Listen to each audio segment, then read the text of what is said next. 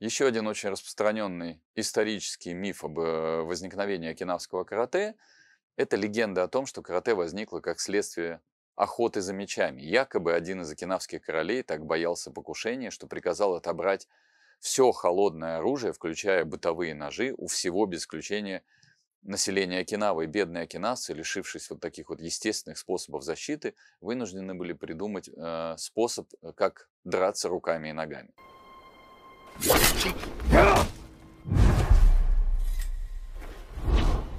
Это легенда. Э,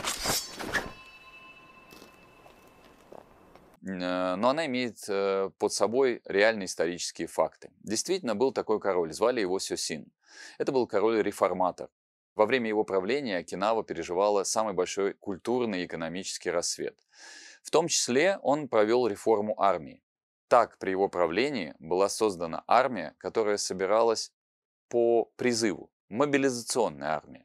Для того, чтобы ее вооружить, был создан арсенал.